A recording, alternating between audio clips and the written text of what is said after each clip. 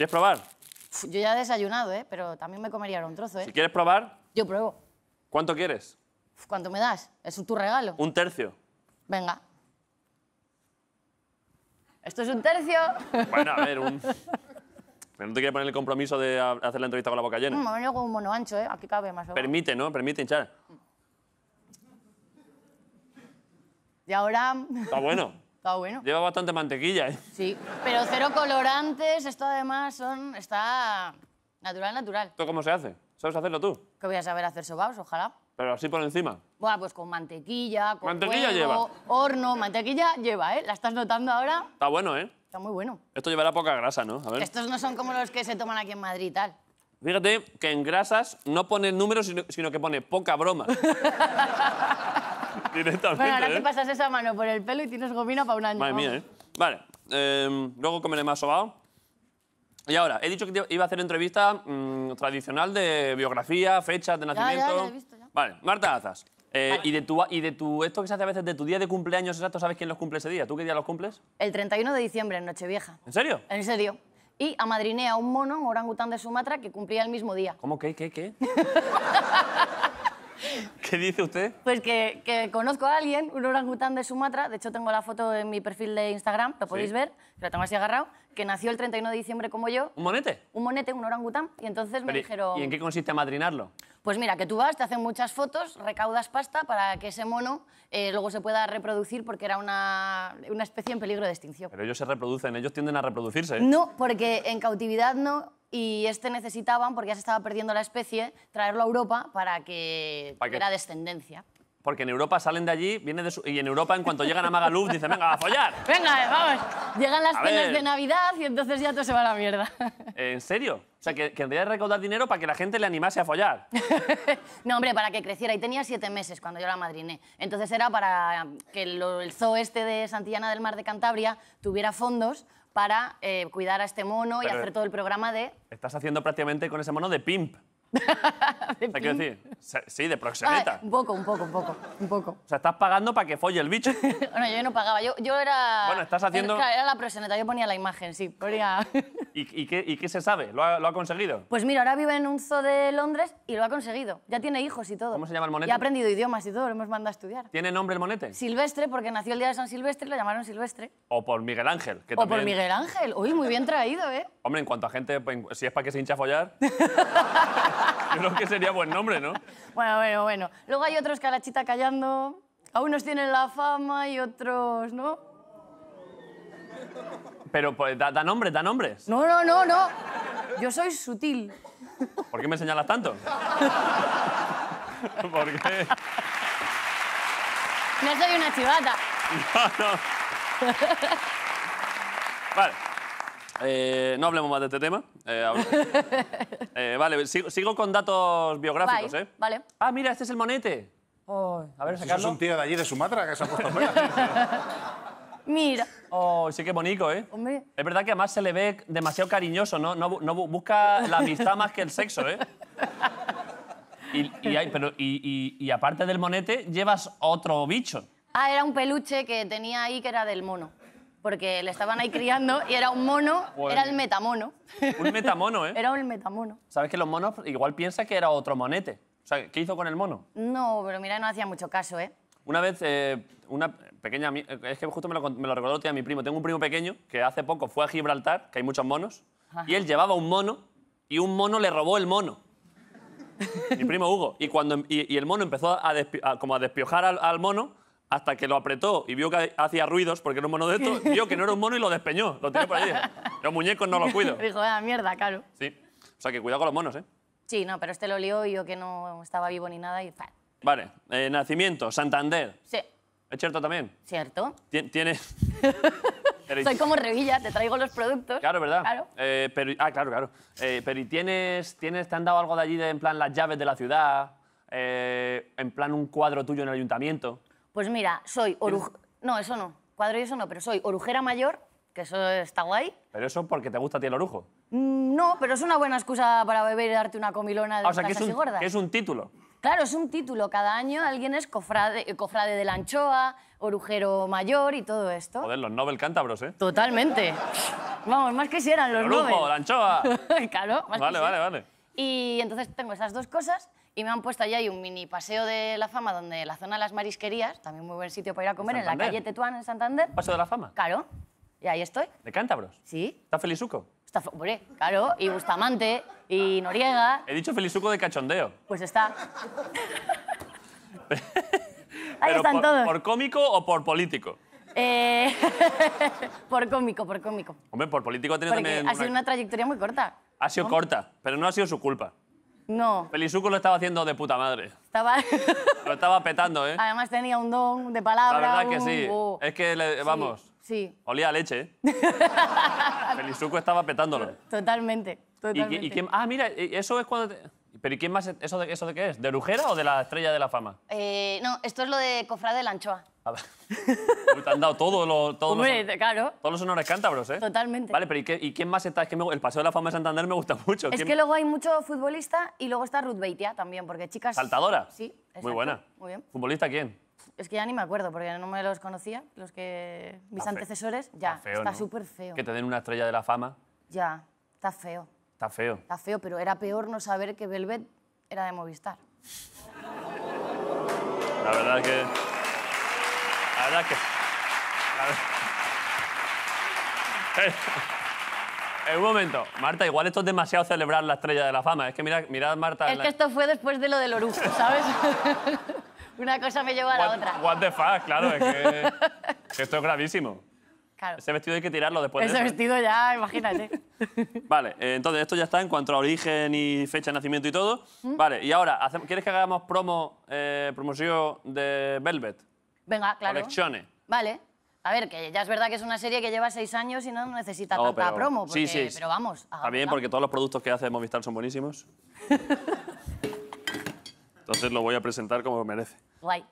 Marta Azas. Toma. Ah, pero si es que encima... Pero un momento. Un momento, estás hilando ahí fino, ¿eh? Pero si es que hemos hablado de dos personas totalmente de forma aleatoria, Paula Echevarría y Miguel Ángel Silvestre, y salen en la, en- en- en la serie. ¿Has visto qué bien traído todo? Pero tú a, a Paula la has metido tú, pero yo he metido a Miguel Ángel a puro a voleo, porque yo no me acordaba que estaba ahí. Eso ha sido el sobao que nos ha... El sobao nos ha concentrado, ¿eh? Sí. Vale, ahora hablamos de eso, eh, porque eh, se presenta. ¿Cuándo se estrena esto? Pues este viernes, el día 20. Este viernes en Movistar Plus, Velvet Colección. Sí. Además, que mm, no te hubieras equivocado si era peli, serie, tal, porque hemos cerrado la serie, esta de siete años, Sí. con una peli, un capítulo grande de 90 minutos. ¿Es solo un capítulo? Es solo un capítulo de 90 minutos. ¿Y qué pasa? Es que un poco ahí ha habido de todo. ¿Breakdance? No. Pero eso lo podías haber sugerido. Miguel Ángel baila muy bien breakdance, ¿eh? Y salsa, y bachata, y todo. Es muy bailongo. Miguel Es que Ángel. baila mucho Miguel Ángel, ¿eh? Mogollón. Miguel Ángel da gusto verle bailando, ¿eh? Muchísimo. Vaya tío. Oye, de fiestas guay, ¿eh? Que no hay tantos Ángel. tíos que bailen.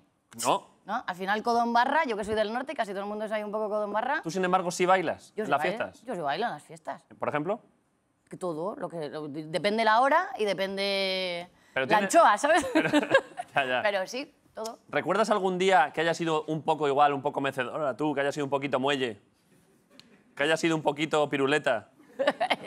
y hayas dicho luego por la mañana, bailé demasiado? Eh, bueno, sí, alguna vez de estas que te has venido arriba intentando hacer coreografías y que a ti te parece en tu cabeza que todo era muy guay Sí. y malditos los teléfonos que ahora tiene todo el mundo y te graba y lo ves al día siguiente, pues cosas de esas. Te lo estás poco. contando como si hubiese sido este fin de semana pasado. Es que hay mucha cena de Navidad. ¿La has liado un poco esta, en alguna cena de empresa? Esta no, porque esta estado mi madre aquí, que me ha traído los sobaos, pero la anterior semana un poco. Cuando está mamá se te bajan los humos, ¿eh? Cuando- Un poco. Cuando está madre auditando... Claro, está madre auditando, entonces pues tienes que... ¿Es buena señora tu madre? Sí, pero súper, no digas señora, súper juvenil. Mi madre tiene 60 tacos, ¿eh? Súper jovenzuela, nos Sí, sí, cambiamos sí. la ropa, Claro, tal. prácticamente millennial. He visto millennials más viejunos que mi madre, ¿eh? O sea, ¿tu madre es dinámica? Muchísimo. ¿Pero en plan qué? ¿Qué hace? ¿Juega al Fortnite? No, pero tiene la Wii, a la Wii sí que le da, y es que el Fortnite... mm, o sea, ¿Juega a la esa- Wii? Sí. Pero, Wii. pero ya, ya. Pero- La consola favorita de los cerdos. Este se me ha caído, se me ha caído, perdón, perdón, perdón. me gusta el chiste, ¿eh? Se me ha caído. Yo... Yo un buen chiste de cerdos siempre lo admito, ¿eh? Es que los chistes malos me flipan, entonces es como de, venga... mm, ¿Te sabes alguno más? Me sé mogollón, pero ahora es esto que... A ver, uno. Mm, ¿Tú sabes lo que soporto? ¿Una ciudad de Portugal? He dicho que me gustan los chistes malos. Pero dentro de los malos estaba en el espectro de, lo- de malos. o sea, dentro de malos hay malos malos y malos buenos. Y una rubia que le dice a otra... mm, Hostia, ojo, que, que, que no... que no ha entendido el mensaje, va loca, ¿eh? Es que ya me he venido Adelante, arriba. adelante, venga, una tanda. Eh, Venga, va, venga. O sí. no, una tanda no, que no me sé tanto. Si ahora me pongo nerviosa y cuando me pongo nerviosa en una entrevista solo pienso chorradas, en plan, en usa no hay gusa o trozos de obras de teatro que he hecho y ¿Eh? mierdas ¿Qué? así. Que tú ahora me dices, cuéntame chistes ahora. Cuenta, pero el que, estabas, el que has empezado a contar. Ah, el- vale, eh, eh, ¿cuál era el de las rubias? El de una rubia, has dicho una rubia y yo ya... Pues una rubia que le dice a otra, tía, tía, me he hecho otro agujero en la oreja. Y dice, "Ah, ¿en serio? ¿Y oyes mejor? Oh, está bien. Está bien. Y una rubia que le dice a otra, tía, tía, ¿tú sabes que las cajas negras de los aviones son naranjas? "Ah, ¿En serio? ¿No son cajas? De esos muchos. Pero ya, voy a parar ya aquí. Eh, Saúl, se le puede cortar el micro. Si, si, ves, si ves que empieza con otro de le dice una rubia a otra, corta un poco. Y pon música. O lo de los perros, ah, no, eso era cuando era aburrida. Claro, no, no, eso es cuando es emotivo. Ah, vale, vale. Pero es verdad que habría que pensar, porque es la primera vez que pasa que alguien cuenta chistes malos. Habría que pensar en una imagen para cuando alguien cuenta chistes malos, ¿eh? O cuando cuenten dos, el tercero ya que entre y lo cuenta Arguiñano. Eso es cho- algunos bastante- chocándose las manos, ¿eh? Adelante, Carlos. Vale, eh, la serie. Eh, La ten- serie. ¿Quieres que pongamos un vídeo de la serie? Vale. Vale, eh, pues, pues- pues yo no voy a ser quien diga que no se ponga. Mirad a quién me he encontrado en las galerías. Recibí un telegrama que me presentara urgentemente en las galerías Velvet de Madrid. Os he echado muchísimo de menos. ¿Qué está pasando, Mateo? ¿Os dais cuenta que dejamos una vida entera aquí dentro? ¿Y quién va a comprar las galerías? Quiero que hablemos de papá. Pero eso ya no es mi historia, Sergio. Estas navidades va a poder disfrutar de un permiso. Te lo llevaba Rita en nuestras primeras navidades juntos. Cuando la vi con el puesto. ¿Enrique? ¿Tú qué haces aquí? Palomita, qué ilusión. ¿Dónde está el niño? Que va, no, no es, no, es que no, es más, eh... Toma, niño. Esta noche es una noche muy especial.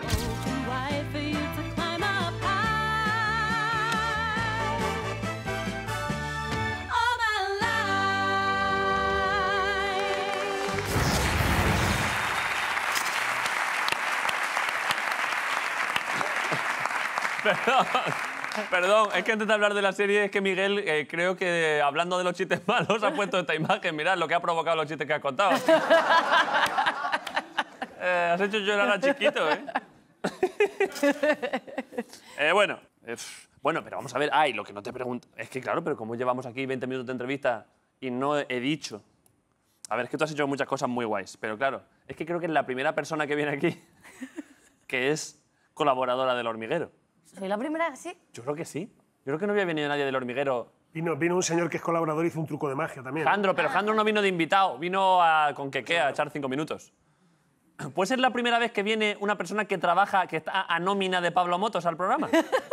¿Puede ser, no, Ricardo? Puede ser, puede Pues ser. un aplauso para... Estáis viendo por fin a alguien... Oye,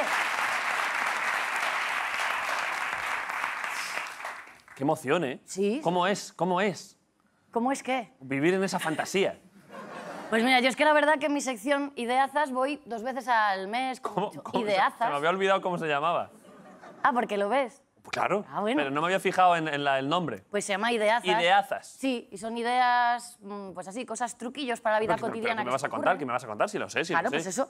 Entonces yo me lo paso muy bien No, cada pero vez si que yo no voy. digo cómo es la sección, que la veo siempre. Ah, Eh, porque yo veo el hormiguero, pon- ah, pase lo que pase. Digo cómo es aquello allí, cómo es, cómo es el- estar en el hormiguero. pues mira, es súper divertido. Es como, yo, yo por lo menos mi parte, yo voy allí. O sea, un día, un día normal de ir al hormiguero, que Vale. tú vas a hacer tu sección. ¿Cómo es? Pues mira, yo llego, me maquillan, me peinan, o a veces ya voy así de velvet o de lo que estoy haciendo. Yo pensaba, que- ¿va Pablo a despertaros a casa? A mí no, porque yo ya llego para el ensayo que hacemos ¿Que a para... qué hora es? A las 7 de la tarde. ¿Vale? Entonces, nada, yo llego, ya hay gente allí y tal, pero llego, vamos a la sala de colaboradores y con Juan, ¿Cómo es esa sala? Marrón. ¿Qué hay ahí? Pues es una sala ¿Piscinas pequeña. de bolas? No, es, es nada, casi como los camerinos de aquí, un poquito más grande, pero nada. Casi como esta puta mierda. Es pequeña, sí, pero hay comida, Eh. una tele grande, así. Una tele gorda. una tele gorda. ¿Y qué sé? ¿Se pone ahí cosas? Sí. lo que- ¿Videojuegos? Ahí hay un submarino. tío. Eso es un submarino de peña Claro. fumando ahí a muerte. Es que hay, ¿En hay- serio? ¿Pero tú cuándo has ido tú al hormiguero? Eh, Hace mis cosillas ahí. sí. ¿Qué dices? Ah, es que Grison fue al hormiguero a hacer beatbox, A es ver, verdad. a ver a Juan, sí. Verdad, sí, sí. Pues vale, sí, sí. Bueno, bueno, sí, sí, sí, pero vamos, que fuma mucho la peña allí. Pero también vapean. Vapean. Pues eso. Entonces es como Londres eso. Y, y vale, y luego estáis ahí un rato. Y entonces estamos ahí un rato y luego ensayas tu sección, se contrastan ideas. ¿Con qué Pablo? cosas- Con, ¿Con el Pablo. propio Pablo? Con el propio Pablo. Dios. Y guay. Y entonces, sí, te pones ¿El propio Pablo está en el ensayo? El propio Pablo en persona ensayas con él ahí todo, pa, pa, pa, pa. ¿Y qué hace Pablo en el ensayo? Pues lo que luego hace en el programa. Dios. Sí, y ve que todo funcione así como tiene que funcionar. Está pendiente de que esté eso. Que es- claro, por eso sale luego bien. Claro, 13 años, tío. 13 o 14 años lleva ya el hormiguero. Increíble. Muy fuerte. Pero- Capítulo final. Capítulo. ¿Y, de- y después del ensayo qué se hace? Porque queda todavía tres horas para el programa. Buah, pues ahí ya... ¿Qué hacéis ahí? Pues cosas que se pueden contar y cosas que no, porque ahí ya cada uno tiene tiempo libre. Entonces ahí pues te buscas la vida. Pero sin salir del haces- recinto. Ya no, sé- no, no sales del recinto. Es como en, la, como, como en los partidos de fútbol, que si sales del estadio ya no puedes vol- volver a entrar. Claro, exacto. No, allá no puedes, no, No, te no ponen ni te ponen sello. No te ponen nada. sello. Nada, nada, no puedes volver. O sea, ¿os quedáis allí todos? Nos quedamos allí, pero igual pasa, nada, eh, dos horas y pico, y entre que te tuneas, te vistes, luego te microfonan, cosas Pero y no, y no cantáis en plan Pablo se lleva la guitarrilla y cantáis unas canciones de campamento o algo así. No, pa- Yo es que me lo imagino así, venga chicos. ¿Qué va? ¿Lo hacéis aquí eso? No. No, pero en el hormiguero. No, Pablo está en su camerino concentrado para hacer el programa y luego a veces Juan sí que ha llevado la guitarra y hemos aberrado allí cantando y haciendo el monger. Y, pero y Pablo, eh, ella- y el camino de Pablo, ¿cómo es? Tiene toboganes y tatamis. Que no, que no, que es todo muy austero, es todo... La pasta se la gastan en el programa. Me están mintiendo. No, te lo juro, te lo El juro. camino de Pablo tiene que ser como Jumanji. ¿Te imaginas todo con domótica de esta... Claro, yo me lo imagino así. No, no, no. Vale, y ahora, eh, bueno, clásico, dinero en el banco, muchas series y muchas pelis y muchas cosas, ¿eh? Sí, pero he llegado a la tele a la época del low cost, yo, ¿eh? Bueno, dinero en el banco Poco. y relaciones sexuales. Ah, pero eso es elegir, ¿no? ¿Cuál te cuento? O las dos, también se puede las dos o ninguna. A ver, mm, hombre, si quieres me da igual, te cuento lo del banco. Vale. Y mm, lo de relaciones sexuales, tráeme en enero, que estreno otra serie, aunque no sea de esta casa, que sois majos y abiertos, tráeme, tráeme en enero y te cuento, además, me traes con mi chico, que somos los dos los protas de Pequeñas Coincidencias de la serie, Sí. y te contamos. Pero ya has hecho promoción ahora, por tanto. No, hombre, pero esto, es- esto, yo no me conformo con esto. Pero un ¿eh? momento, pero, pero. Pero un momento, ¿es porque tienes algún dato muy interesante de relaciones sexuales que me puede interesar conocer? Bueno, igual te interesa, no sé, por algo lo preguntas, ¿no? Pues yo qué sé, te lo contamos los dos. Yo qué sé. ¿No lo vas a contar hoy? No, hoy te cuento lo del dinero, para que me traigas otro día. En enero- Es que, a, ver, en que, enero- a ver, que no haría esto si no fuera mi serie, es que la produzco yo, tío, y cuesta mogollón Pero en, eso, en enero es muy difícil que vengas. ¿Por qué? ¿Y febrero? La cuelgan toda del tirón en Pero es que Amazon Prime. En enero no que- puedes venir, nadie ha venido. en enero, en enero, o sea, sí, perfecto, la serie a tope. Eh, pero no puedes ven- nadie ha venido en un mes dos veces. Pero es que no voy a venir en diciembre otra vez. ¿Sabes? Eso sería febrero. En habríamos- enero no puedes venir. Vale, pues en enero no. ¿En febrero? No. Tampoco. Tío, pues ya Pablo Motos, cuando le he pedido que me lleve al hormiguero y no era ni colaboradora ni nada. En enero a vienes. promocionar, Vale. Vale, vale, pero. En cero, de Movistar Plus.